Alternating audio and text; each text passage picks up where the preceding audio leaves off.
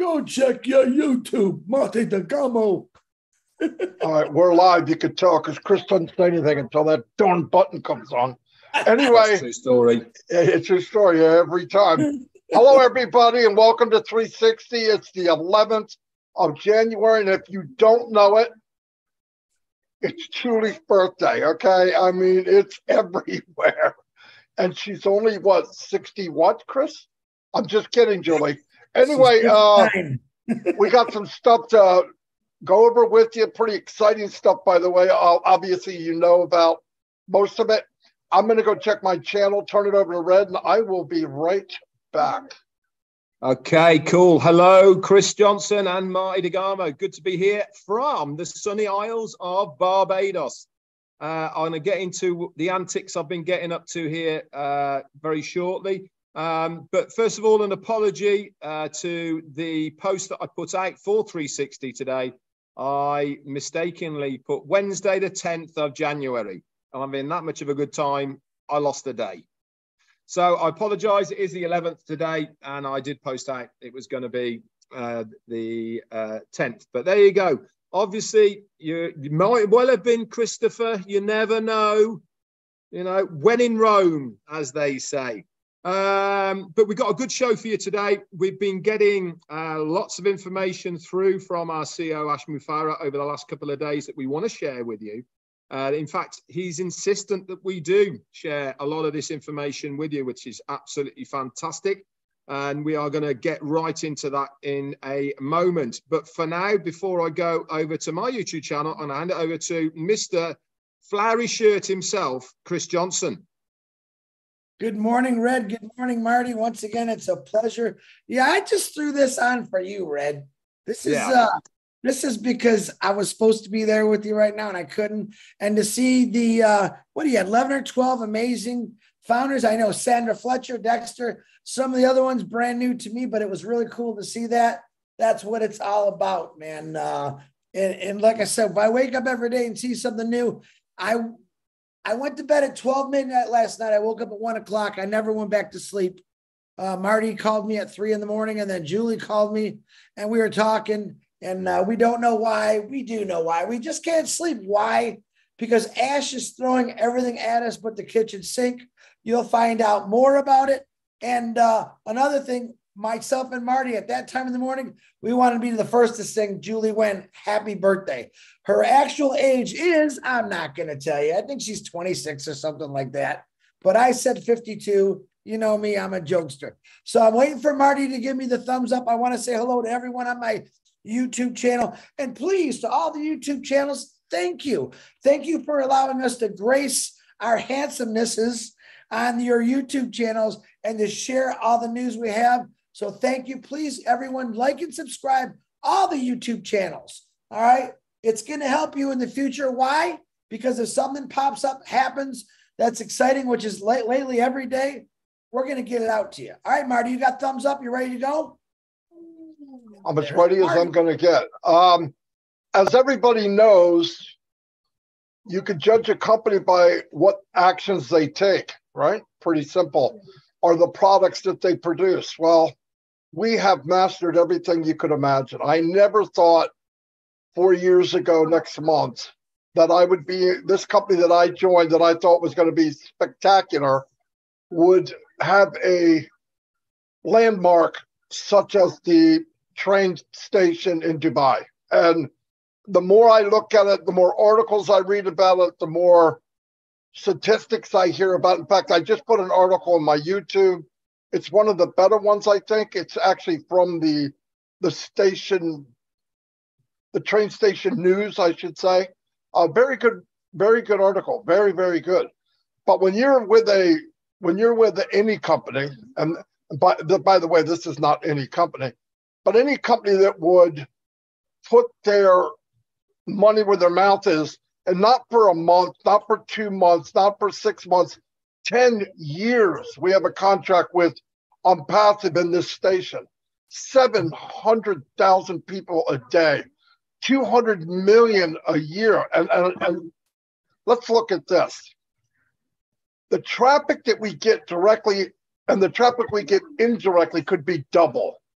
Because also think about this. Right now, there's 700,000 people a day. What is it going to be in five years, knowing that the world is going into IT, uh, artificial intelligence? That's where they're headed. They all talk about it. It's called repair. They have to repair and rebuild and retool to get where we're going, where we're, where we're at now. Some companies, listen, to get into to Dubai, you have to have your stuff together. They don't just take anybody because they don't have to. They take the cream of the crop. And that's always says cream rises to the top. Well, we rose to the top because of Ash Mufareh, his team, uh, the media team, Dubai, everybody that's involved, they told them enough where they said, not only do we want you here in our country, we want you to be here for a long, long time. And that's a big deal. And, and it wasn't like other people weren't competing for that spot because to get a marketing extravaganza like this station, not for one day, but for 10 years, that is almost magical. I don't know how they got away with it. And it's not just about money. As far as I know, Dubai is not short on money. Okay. So it had a lot to do with what we're doing and what we represent. And to me, that is so, so strong for all of us. Look, for what a little bit I know, a little bit that we know, even when you see something like that, I mean, if you really take the time, it should make you not be able to sleep at night, which it did to me. And I haven't slept all night in the last four days. But anyway, I'm going to turn it over to uh, Red, and he can fill you in some stuff also. Uh, thanks very much, Marty. Uh, you quick shout out actually to Anthony Abete for your super sticker. Very kind of you. I am going to go over and say hello to a few of you guys in a moment. Um, but now I just want to piggyback on what Marty has been saying. And funny enough, before we came on here, I was chatting to Marty and we were talking about uh, the metro station and why I, I, I, did a video of it of why I believe is such a big deal. And we were actually talking about this, saying is that, that so many of you, I don't think fathom how much of a big deal having this station here at this time really is. Obviously, we've got the contract for 10 years. The revamp is going to be going on now. And I think, uh, off the top of my head, it should be finished by March. We've been told that is the complete wrap uh, with the signage. Again, this is going to be one of the largest building wraps that has ever been done, especially, I don't know worldwide, but certainly within uh, Dubai. That is for sure. So it's going to have massive exposure just for that one thing alone. But we were talking uh, more importantly about why it's such a big deal. Now, obviously, the phases of Dubai have gone through various stages, as we all know. Remember, it used to be just a plain old fishing village back in the day. You know, sand camels fishing village. That's what it was. And they realized that their resources as a country are not going to be there forever, which was predominantly oil and gas. So the leaders of Dubai came up with a absolutely out of the box idea of what to do with Dubai. And that was to build what we know right now. How many people told them they were crazy? How many people told them it could not be done? How many people pooed their idea of what was possible. Did they take any notice? No, they didn't. It made them more determined to carry out what they will what they wanted to do. And now we see the fruits of their rewards with the tallest building in the world, with the largest indoor ski slope in the world, with the largest screen in one of the largest moles in the world. All of this biggest aquarium, all sorts of records have been broken because of Dubai. Why? Because there was no such thing as failure in their eyes. They had a vision, they had an idea, and they wanted to fulfill it. Now we move on to the other phase of what Dubai are doing now. They've built all of the major, major structures that they want to do. They've put the infrastructure there, including the metro and the roads All of these facilities are all there. But they also need and understand that they have to move forward. And part of their next stage is to bring the tech companies of the world to make on uh, make Dubai the technical capital of the world. This is their vision. They want to be the innovation. They want entrepreneurs to put their mark on Dubai. They invite people to be there. OnPassive as a company fit very nicely into what they are trying to do and achieve. This is why we have the um, possibility at the moment with the Dubai government to expand like we think we can do with Dubai. We have the same ethos, we have the same understanding, we have the same passion and heart for humanity that the Dubai government want to achieve as well. All of this goes hand in hand with whatever is going on. Now, when I said I was talking to Marty, we are saying how many thousands of people go on the Dubai metro daily at the moment what the figures we've been told 700,000 a day within the network of Dubai go up and down it. How many of those go through OnPassive Station? We don't know, but that's how many there is on the network. 200 million people use it. Just imagine where it's going to be halfway through our contract that we have already with RTA. What's it going to be daily? A million daily? More than a million daily? That's on top of all of these new companies, all of these new people that are going to settle in Dubai, that are going to see the word OnPassive. Don't you think a couple of these people might be going, oh, let's have a look at Google. What is OnPassive Dubai? Don't you think this is preemptive of their marketing capabilities? By securing this station right now, for whatever amounts of money it was is immaterial. They will be paid back tenfold because of our early innovative idea to do this now. Everything that is being done by OnPassive right now is done by design. It is all for the future. It is all to make the statements. It is all to give that marketing exposure that we want right now anyway, I'm going to hand it over to Chris and then I'm going to come back and I'm going to talk to you about my meetup today in Barbados with some amazing brand ambassadors and founders of Barbados. Over to you, Chris. Thank you, Red. Uh, hey, I want to do a slight recap. Brand new breaking news that Ash just sent me on what Red was talking about. There's been a slight change. It's a good change. The wrap is ready by the weekend. People will see it live next week not March. So that's cool. Uh, March is for the ticket system, the rename, all of it. So that's just an update I just got. Uh, Red had the the other information we had, and Ash just said, "Oh, it's changed, Chris. It's good, ready to go." So number one, I can't tell you how proud I am of this company right now. Uh, you know, I look, I told Red and Marty today, I really don't have nothing. I'm so excited, I can't sleep. I'm functioning horribly because everything that's going on. That's that's the truth. And everyone's saying, why, you, why can't you sleep? I don't know. I really don't. but I do. Now, I thought about something today is when I was growing up, and I brought this up before, there's a lot of people in this world who have invented things. All right. Uh, for instance, do you know who invented the dryer or the washer?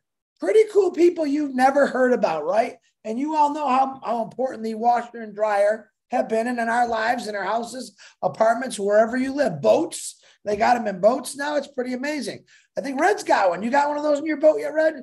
See, it happens, you know. So then I came across my favorite one of all, the the most useless invention or or idea I've ever seen, and we owned them. It was called the Pet Rock, and some guy thought, "Hey, I got an idea." And back in the 70s and 60s, what was the big thing? A lot of people said, oh, we got to have a conversational piece in our house. Well, that was the pet rock. It was the guy, he got a bunch of rocks. He made a box, he put some straw, he parked it in their box, and then he had a little story about that rock. My parents bought a couple of them. I remember them. And I thought, I told my dad, I said, you know, this is the greatest invention. He looks at me like, dude, are you nuts? I said, no, dad. If a burglar breaks in, I can throw this rock at the burglar. You know, of course, he laughed. So, and there's always something for something. So then I thought, conversational piece. I talked about the other day about each one of us are a landmark because we were we were we were putting out how much OnPassive is now a humongous landmark, not only when with the two offices in the tallest building in the world, but also now the train station. And let me tell you, a lot more landmarks to come. But I said we have 1,400,000 landmarks, which is us. We are the information of OnPassive. We are the ones that have got out there and talked about it to build this, this foundation uh, bigger than what it is today. So I say you are a landmark. Utilize that you are a landmark for a passive. Okay. As far as I'm concerned, uh, a landmark is the greatest conversational piece that you are in, that's in your house right now. Okay. So you invite people over, they don't need to see a box with a rock in it. Okay. The box with a rock in it never did anyone good but the guy that invented it. He sold 1 million of them. He became a millionaire from a rock. There was no solutions beside the one I said, thrown in at a burglar. Now you've got OnPassive sitting on your kitchen table in a box. There's a million four hundred thousand landmarks in there. There's thousands of products, thousands of solutions. This is an invention, an idea, a dream from way back when that is now put in place that has a purpose. What is the purpose? To help people with solutions. Solutions. What's the main solution? I say my personal self is to repopulate the world with good, repopulate the people that never had anything or never had a chance. Now they do. This is the greatest conversational piece I've ever had in my house. And you're looking at three of them right here on this screen. Why? Because back then I didn't believe in the pet rock. I thought it was cute.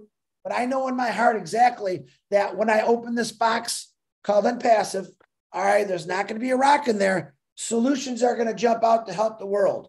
It's going to help everyone that wants it, I'll say. If you don't want it, that's okay. Go buy another pet rock and explain to people what a great rock and what a family life he has. But I have a story about OnPassive, like a whole bunch of other people, that is the greatest conversational piece that I will ever tell. I can't wait for my grandkids and their grandkids and their grandkids to say, yeah, my great, great, great, great, great grandfather, he believed in this, he got in it, he never let anyone get in the way. All right. He just kept going and going. He believed in what Ash Mufareh was saying. He watched him create this. He helped with, with certain things. That's a legacy, guys. Notice I didn't say anything about money. I didn't say nothing about money, just what my grandkids are going to talk about in the future. Now, by then, when I've got 20 different kind of grandchildren in the future, uh, we can talk about the monetization right there. We'll say it. All right. They're going to be saying, man, just think if grandpa, great grandpa Chris never read or, or Marty never got into this. Where would we be? I tell you where you'd be. You'd be doing a JOB like the rest of us stalkers did for our whole lives. You have something new and amazing. And let me tell you, if you're not talking about it now, you are not really an OnPassive. Start talking about it, folks. Make yourself a landmark of OnPassive. Make yourself a con. Um, I forgot a conversation piece for the greatest company in the world that is going to uplift humanity. It's going to change your success. It's going to change your wealth. It's going to do many things. Once again, solutions for everyone. Marty DeGarmo, that's all I got. Back to you, brother. Jacob. Once again, I'm really glad you had nothing when we got here because that works out so much better than having something. But anyway, hold on, my family's talking. anyway, you know that. There's nothing I can do. Anyway, um, yeah, I was looking at all these stadiums in the United States, okay? Like you have Gillette, you have uh, named after airports, some of them are named after uh, certain companies. Uh, and what are they holding? 50, 60,000? They have a football uh, game maybe most of the time once a week, so they're usually just sitting dry. Do you know what they pay for that? It's outrageous amount of money to get their name on that.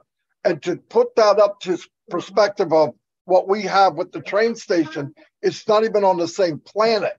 It's actually up to par with Grand Central Station.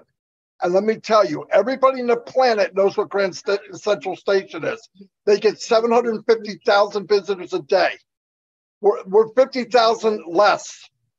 That's how close we are. And where's it going to be, like Red said, in, five years?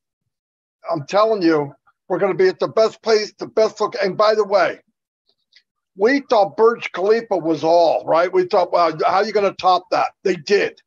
I don't know where we're going next. we're going to be all over Dubai, obviously. If we're not on a building, we're not in a newspaper, we're going to be in your travels to and from work, your travels going to the aquarium. When you get to the aquarium, I mean, it's it's such a genius setup. I mean, thank God I don't have to foot the bill. And this is why I brought up to founders today. And I don't want to be negative, but this sense of entitlement that some of us have for the $97. It's really a joke. Okay. $97 and you own and you deserve what? Nothing. Nothing. We haven't paid for that. We didn't pay for anything in Dubai. And the creepy, weirdest thing is they're still giving money back if you want it. Never seen anything like it. I was in a company, 2,500 bucks to get in, and they charged me every month. I lost that. I lost every month. that I was in for a year because I didn't have the brains to get out. I kept thinking I'm not going to give up. I'm, well, when I found OnPassive, I planted my flag. And if you see what they're doing in in in behalf of us, and you don't appreciate it, you're right. Maybe you shouldn't be here. It's sad to say that, but really think about what you're doing. Because I hate every time I hear somebody thinking about leaving or something, I think, oh my God, do you know what you're saying? Do you really know what you're saying?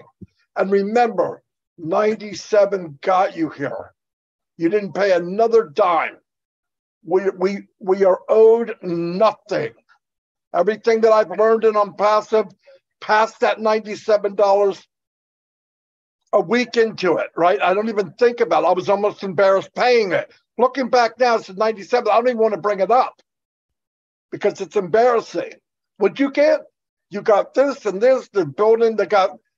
They're in the Burj Khalifa two floors. They just got their name on a train station in the most high tech city in the planet, and everybody that enters OnPassive comes to a founder.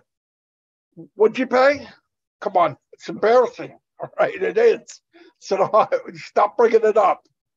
It's not good. If you're having problems, get your money out and you know get divorced. It's fine. But please think about what you're saying. I don't know. You couldn't do this with everybody that you know, even touch what we're part of. Not even touch it. Anyway, that's all I've got for the today. I'm going to go back to Red. Red met some people, uh, founders work when he's over there, which he he had a great time. So here's Red. Uh, thanks very much, Marty. Uh, just before I go on to the founders, um, keep an eye on uh, all of our Facebook uh, pages, guys, because uh, we're getting sent a lot of publication links uh, for uh, different online publications that are featuring OnPassive. and uh, we want to get these out to you so that you can read yourself what the gen, what the, the media are starting to say about OnPassive. Really, really good. And in fact, uh, the latest one I shared, which Marty got hold of, um, from RTA, which is the train company. They put a, an official press release out now on their website, which I've shared and Marty's shared as well. What a fantastic write up. I, for me, so far, it's the best write up I've seen in any of the publications. Why am I saying this? Is because it gives a bit of a background of not only the company, but what they are trying to achieve and how OnPassive fit in to what they are trying to do. Uh, so it's a really good read. And also, uh, my friend Ram uh, Ben uh, Yakov from uh, Israel sent me a link. Would you believe one of the Philippine uh, online publications have picked this up as well, and they are running with that from the Philippines. This is how it's going, guys. It, it really is the snowball effect of what OnPassive is doing. You have to get that ball rolling. And, you know, you really, once you've got that ball rolling, there is no stopping it. You know, once it, this train has left the station, we are now on free wheel. All we're going to do now is, is uh, get more and more speed behind us because we are on our way. It's fantastic to see. And you know something, uh, Marty was right. I had a meetup today here with some uh, Barbad- uh, Barbadians, uh, yeah, Barbadian founders here today. I was blown away. Uh, a lady called Sandra Fletcher and uh, Dexter, they both had been emailing saying, Red, we'd love to meet up with you. Can we see you? So I, I got everyone together this morning to come over. I was expecting two, three, four people, maybe a dozen of Barbadians uh, came, founders. Many of them are 2018s, early 2019s, or early 2020s and one guy's been in six months. But do you know something? It absolutely blew me away that these people, founders, are so, so in touch with what is going on as far as OnPassive is concerned. Even on this island of Barbados, they watch all our lives. They haven't missed corporate webinars. They might not be front and center, but one thing are they are engaged founders and they are so passionate about what OnPassive is going to do. You know, there, there was a, a pastor who was here, and um, Sandra Fletcher's mum, who is Yvonne Beckles, she is an aged lady, but she is one of the first founders here in OnPassive. Many of the founders here, and there's over a thousand in Barbados, believe it or not. She has brought many of these people in from all over. In fact, actually, uh, her pastor, who's been a founder for a long time as well, he didn't even know he was a founder until she said, I've bought your position, and he had no choice. But he is really excited about the possibilities of O Connecting to, to do with um, his pastoral services, etc. We were having such a nice discussion, uh, banding questions backwards and forwards, but they weren't airy fairy questions. They were very relevant questions to where we are within OnPassive at the moment. What do you think the future is going to be? Which directions? They are very interested in the company. They are very interested in what the company is trying to achieve. And I absolutely love that about them. You know, you, having the founder's position is exactly what I perceive myself that these guys are doing. And that is have an interest in what you have. But unfortunately, they're not all like that, are they? We know many, many founders who've just bought it, bought in, let's wait and see. The fence sitters, the ones that aren't quite believers, but they don't want to miss out. What I'm looking for is the founders I met today. These guys, serious founders who are passionate about their business, who want to know, who want information. And these are the true founders, in my eyes, of what the company are looking for. I think in the future, things might change. But I tell you what, these guys have blown me away today. I am so privileged to have met them.